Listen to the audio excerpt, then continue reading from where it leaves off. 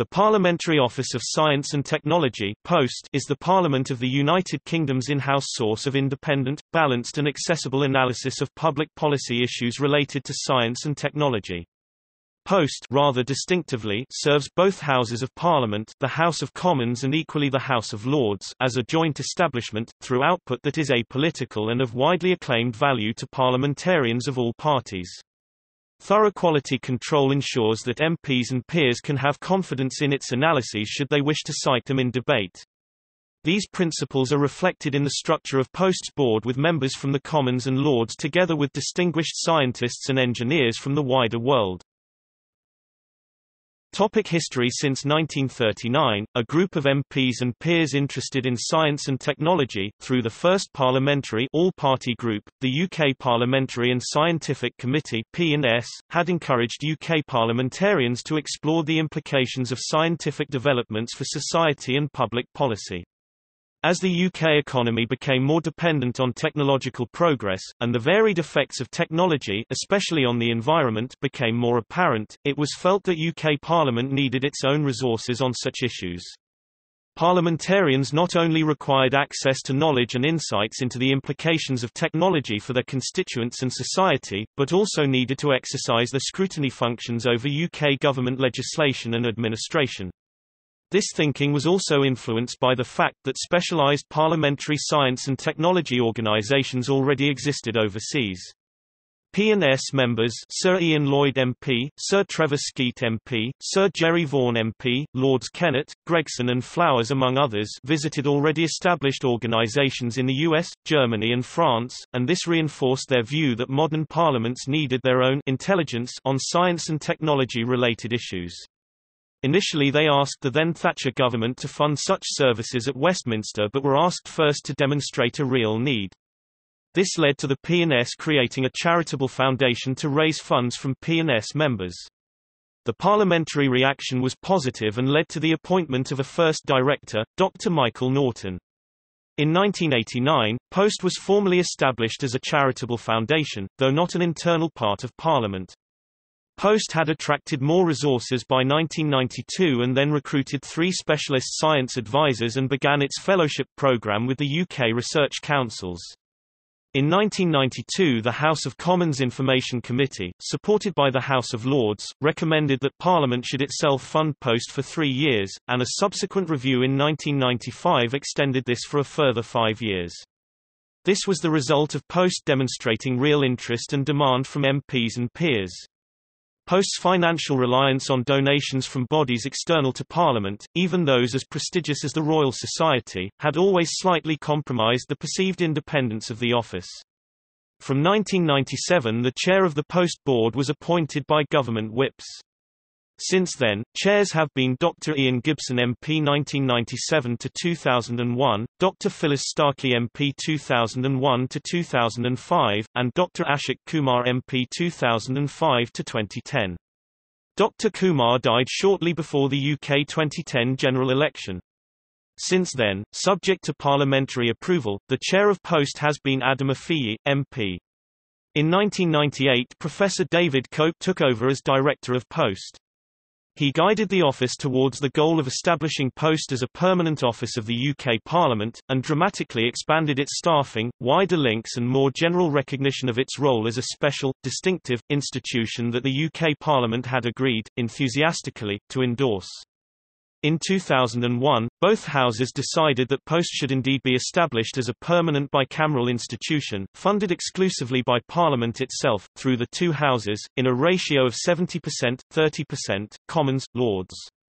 In 2009, Post celebrated its 20th anniversary with, among other events, a special conference, arranged by the director, Professor Cope, on images of the future. The keynote participants were the Honorable Bart Gordon, chair of the U.S. House of Representatives Committee on Science and Technology and Dr. Jim Dator of the University of Hawaii Futures Research Center, along with many other members and staff of parliaments across the world. Because of the enthusiasm of members of both houses, Post had enjoyed a unique status within Parliament.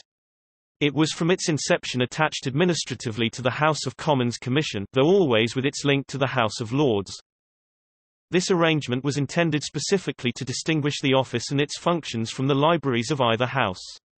These conduct non-peer-reviewed studies of varying quality. Post, on the other hand, was expected to provide proactive analysis and options, freed from the immediate pressure of political or administrative expectations, trying to embrace futures thinking, and above all, to subject all its work to the most critical peer review analysis. Post's director, Professor David Cope, returned to Cambridge University in 2012 and Dr. Chris Tyler was appointed by parliamentary authorities to a reduced role, which saw the fundamental rationale of Post as a science and technology assessment institution increasingly changed to one which more engaged with the ongoing debate on science policy. Post, from its foundation, had always been an institution of, rather than for, Science and technology in other words, it did not in any way lobby for more public funds for scientific or technological research. Dr. Tyler, however, was closely involved with the Campaign for Science and Engineering, a UK body which does so lobby. On appointment, he did not immediately resign his role in any lobbying body, and this continued seriously to undermine his perceived independence while head of post. Dr. Tyler left post in 2017 for a secondary position at University College London. The acting directorship of Post was taken over by a long-standing staff member, Dr. Chandrika Nath, who was totally immune from any such lobbying role.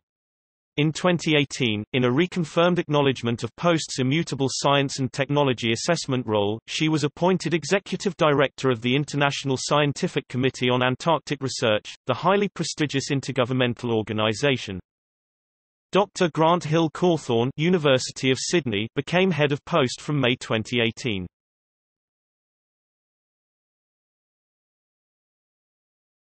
Topic: Activities.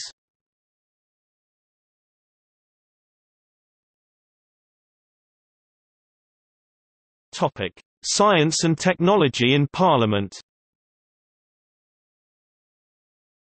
Most parliamentarians do not have a scientific or technological background but science and technology issues are increasingly integral to public policy. Parliamentarians are bombarded daily with lobbying, public inquiries and media stories about science and technology. These cover diverse areas such as medical advances, environmental issues and global communications. Post helps parliamentarians examine such issues effectively by providing information resources, in-depth analysis and impartial advice. Post works closely with a wide range of organizations involved in science and technology, including select committees, all-party parliamentary groups, government departments, scientific societies, policy think tanks, business, academia and research funders.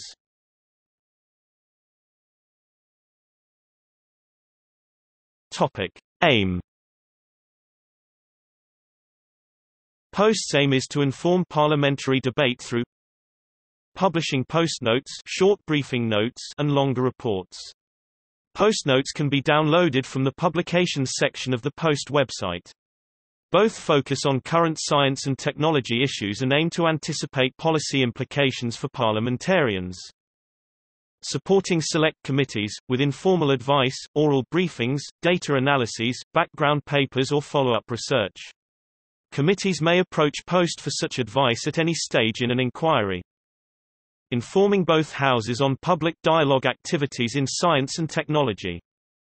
Organizing discussions to stimulate debate on a wide range of topical issues, from small working groups to large lectures horizon scanning to anticipate issues of science and technology that are likely to impact on policy. Topic: How Post works. A parliamentary board guides Post's choice of subjects. A team of advisors conduct analyses, drawing on a wide range of external expertise. All reports and postnotes are externally peer-reviewed, and scrutinized by the board before publication. Post's work falls into four topical areas. Biological sciences and health. Physical sciences and ICT Environment and energy. Social sciences. Topic. International activities POST is a member of the European Parliamentary Technology Assessment Network, which brings together parliamentary organizations throughout Europe sharing information and working on joint projects. POST also liaises with science and technology organizations across the world. Between November 2005 to 2009, Post, collaborating with four of its sister organizations, at the Danish, Dutch, Flemish and German parliaments, provided technology assessment services to the Science and Technology Options Assessment Unit of the European Parliament, in Brussels and Strasbourg.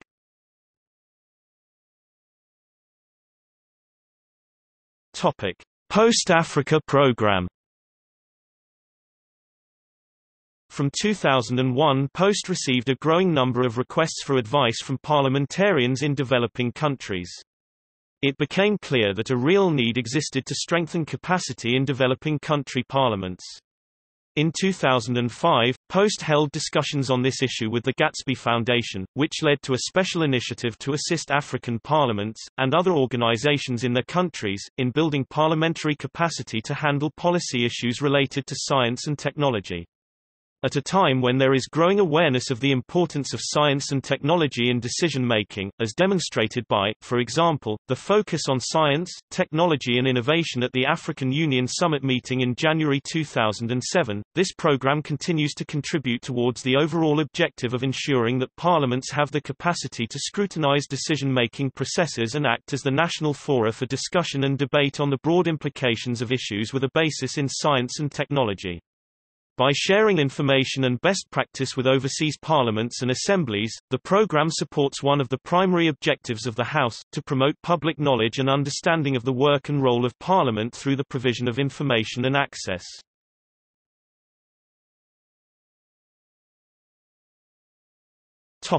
The Post Board. Appointed 2010 the Post Board oversees Post's objectives, outputs and future work program. It meets quarterly. The board comprises 14 parliamentarians drawn from the House of Commons 10 and the House of Lords 4, roughly reflecting the balance of parties in Parliament. Leading non-parliamentarians from the science and technology community. Representatives of the House of Lords and the Department of Information Services of the House of Commons.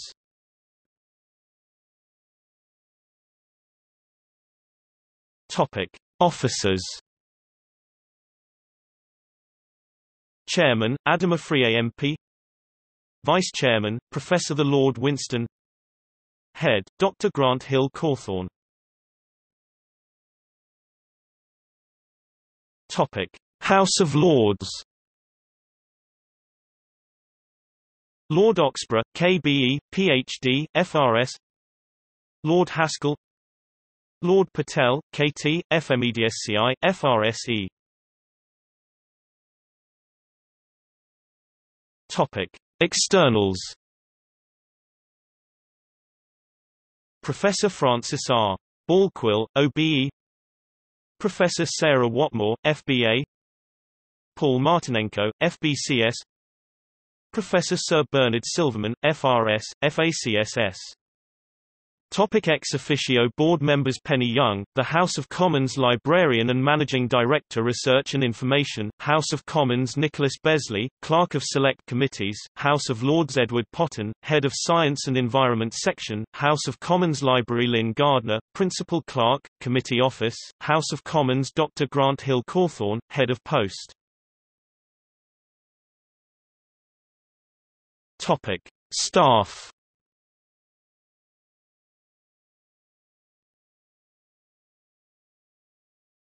Topic: Permanent staff.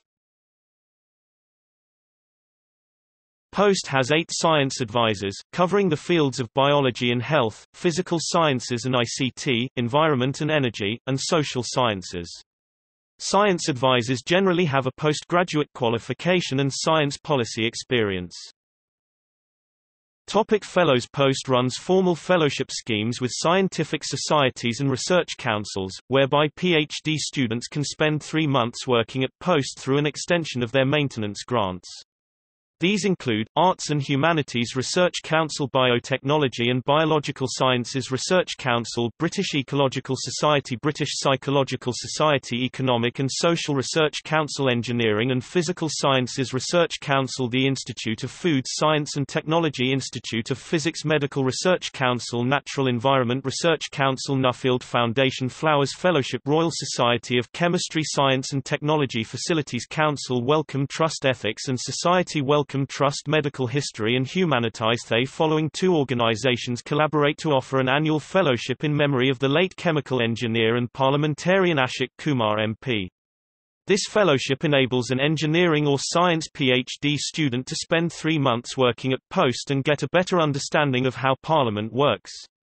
By 2017 the sixth Ashok Kumar Fellow had been appointed to work with Post She was a postgraduate engineering student, Erin Johnson, from Imperial College, London.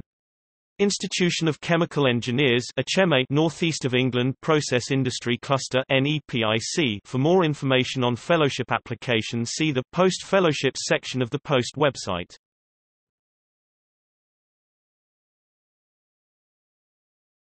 Topic. See also Ashok Kumar, British politician. Institution of Chemical Engineers IChemE Northeast of England Process Industry Cluster NEPIC Parliamentary and Scientific Committee